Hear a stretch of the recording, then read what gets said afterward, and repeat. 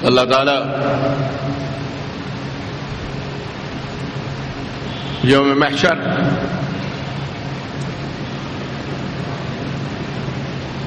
अपने खास बंदों के साथ जो मामला फरमाएगा, उसका ज़िक्र इस आयत शरीफा में हुआ कि कल क़यामत के दिन अमूमी हैसियत से सारी इंसानियत हैरान, परेशान रहेगी। लोग बेयारो मददगार इधर उधर दौड़ते रहेंगे। घबराहट, खौफ हिरास पशेमानी शर्मिंदगी, रसवाई का आलम ऐसे में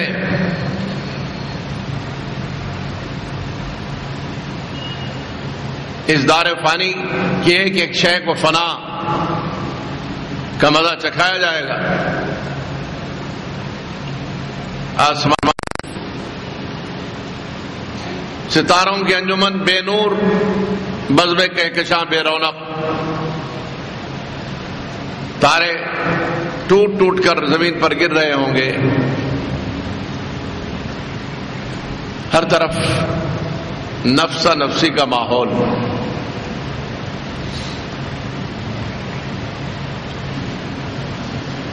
रिश्ते, नाते इंसान फरामोश कर देगा।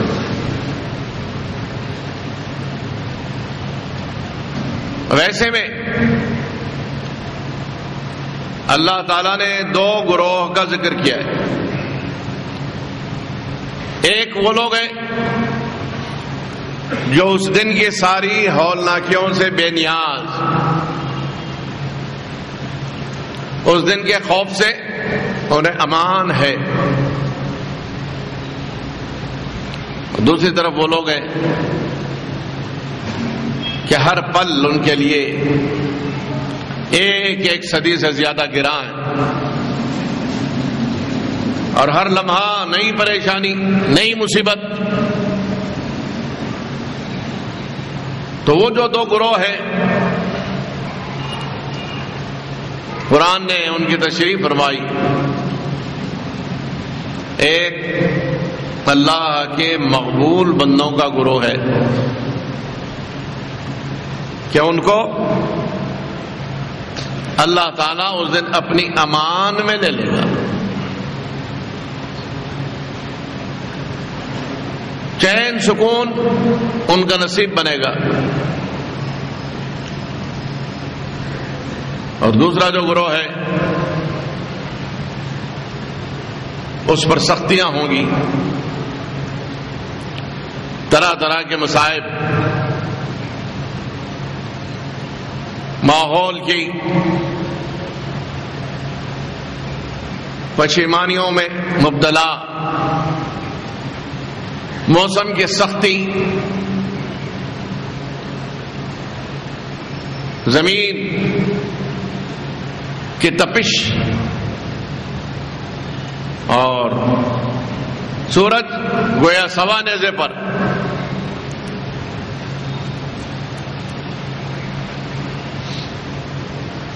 इधर ये लोग उधर वो लोग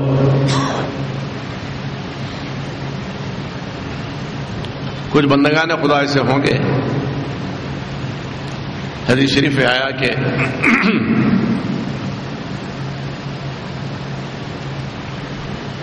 वो अपने लिए चारागर तलाश करेंगे कि कोई है जो हमको इस मुसीबत से निजात दिलाए।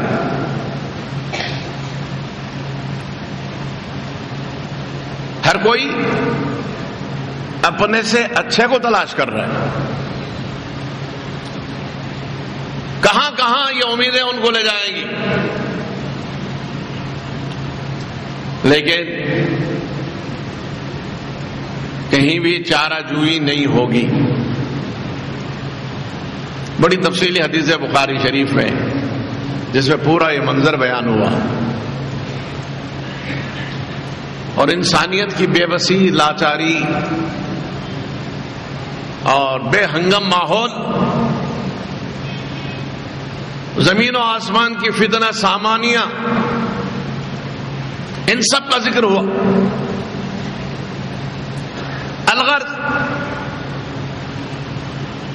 वो एक ग्रोह जो मकबूली ने बारगाह है, यजदी का होगा, जिनसे रब कायनात ने इस दुनिया ही में वादे फरमाए। उस दिन एक मुनादी, निदा करने वाला, पुकारने वाला, पुकारेगा। हदीस शरीफ में है कि हजूर सल्लल्लाहु अलैहि वसल्लम तीन दिन ऐसे कटे कि आप बाहर तशरीफ़ लाए। नमाज़ के लिए और नमाज़ अदा फरमाई और सहाबा से कोई गुफ्तगु किए बिना बहुत तेज़ी तेज़ी अपने हुजरे में दाखिल हो गए।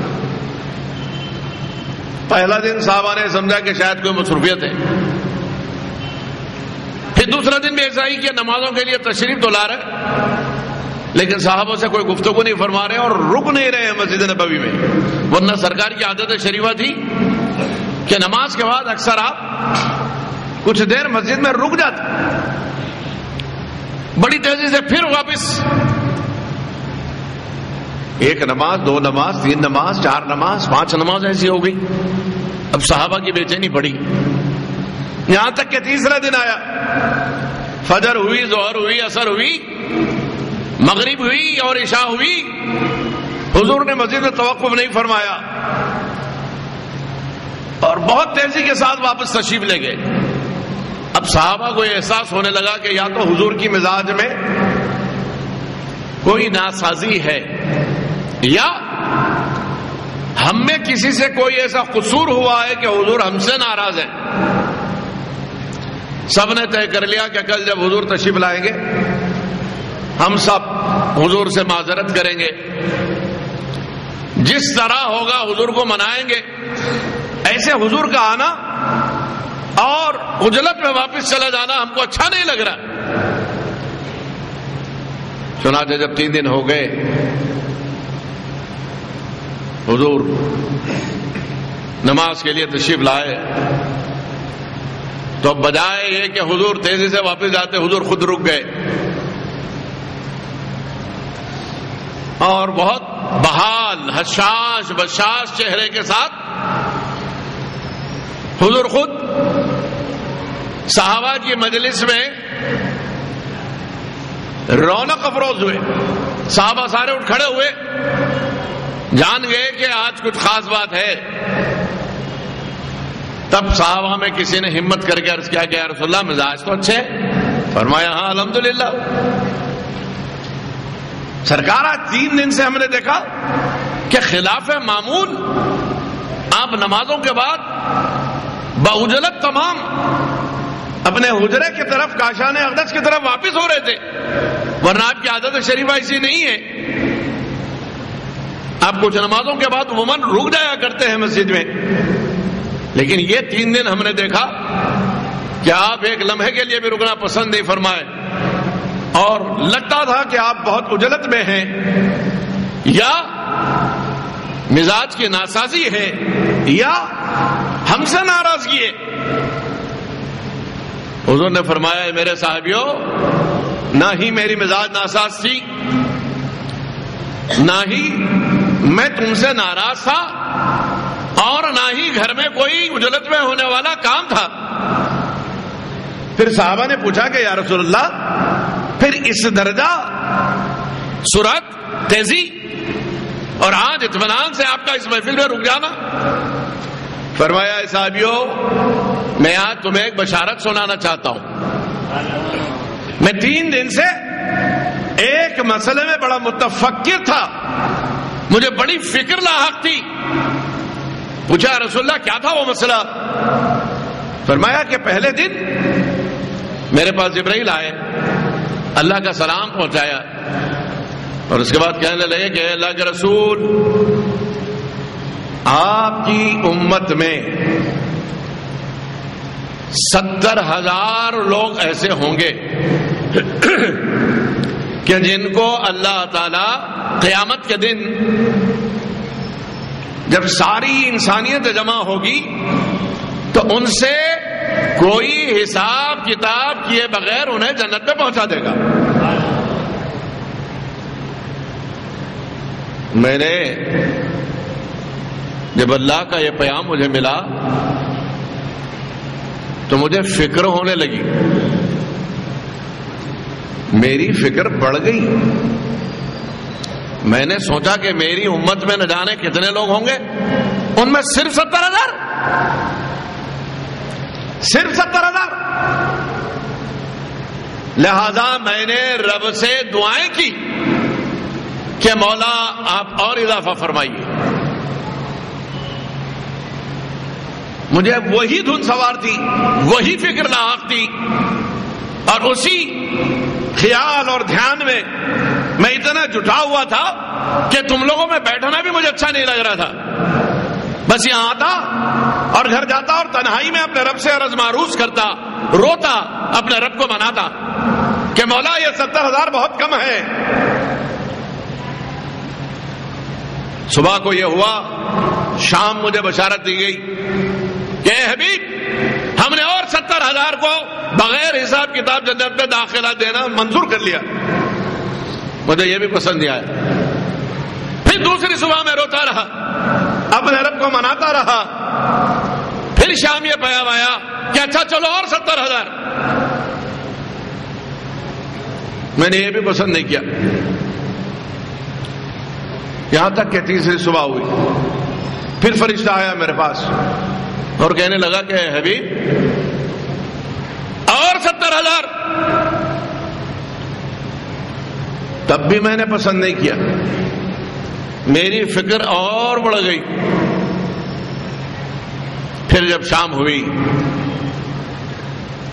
तो अब फरिश्ते को भेजा गया और फरिश्ते ने आके ये प्याम सुनाया हबीब क्या आप इस बात पर राज़ी नहीं है कि वो जो सत्तर हज़ार बगैर हिसाब किताब के अभी तक आपको बशारत सुनाई गई है जितनों की। उनमें हर शख्स, उनमें हर शख्स अपने साथ सत्तर हज़ार को ले जाए।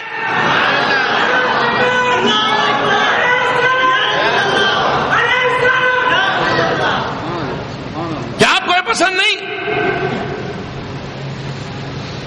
मैंने कहा कि मुझे मेरे रब के करम से कोई गिला शिकवा नहीं है। मगर मेरी जुस्तजू मेरी तलब इससे ज़्यादा है। मेरी जुस्तजू मेरी तलब इससे ज़्यादा है। तब फिर फरिश्ता आया। और अब यह बचारत सुनाई कि ये हर एक अपने साथ जो सत्तर हज़ार को ले जाएगा ले जाएगा। इसके सिवा आपकी उम्मत के कुछ अलिया ऐसे होंगे, जिनको हम ये अख्तियार दे देंगे कि वो अपनी मर्ज़ी से जितनों को चाहे ले जाए। जितनों को चाहे ले जाए।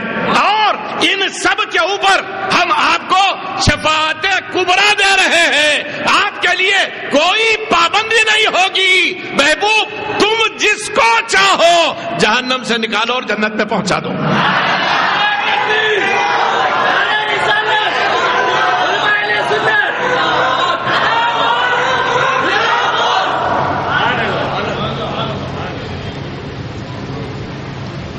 पहले तो सत्तर हज़ार, फिर सत्तर हज़ार, फिर सत्तर हज़ार, फिर सत्तर हज़ार। दो लाख अस्सी हज़ार हो गए। अब ये दो लाख अस्सी हज़ार में एक एक फिर सत्तर हज़ार को। अब आप हिसाब करें, मेरी मैथमेटिक्स इतनी परफेक्ट नहीं है। अगर कोई ऐसा मैथमेटिशियन है, जो अभी मुझे आंकड़े दे सके फिगर्स दे सके,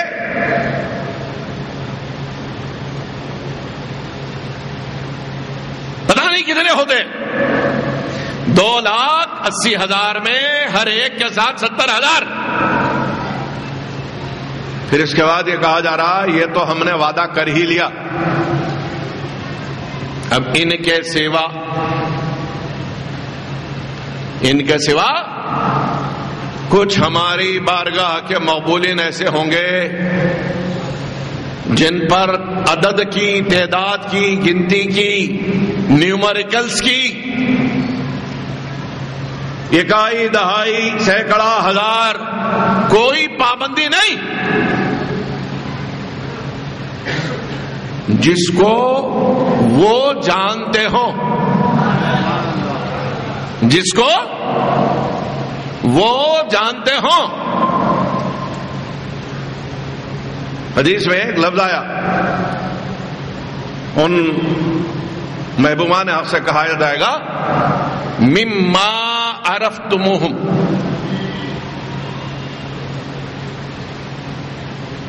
तारीफूम भी हो सकता था, अरफ तो हम फरमाया।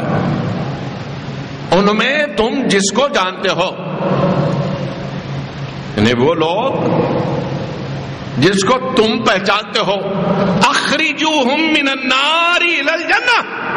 जाओ दो से निकालो, जन्नत में पहुंचाओ। मिम्मा अरफ तो हूँ या मिम्मा तारीफ़ हूँ ईमान वालों में वो ईमान वाले जिनको दो में भेजा गया है, भेजा जा रहा है। ए महबूबा ने हक, ए औलिया अल्लाह, ए मकबूली ने बारगाह है गदी ए सालिहीन, ए मुत्तकीन, ए कामिलीन, ए आरिफीन। तुम जिनको जानते हो तुम्हारे से जिनकी जान पहचान है। तुम्हारे से जिनकी जान पहचान है, जिन लोगों ने तुमसे अपनी पहचान बना रखी है।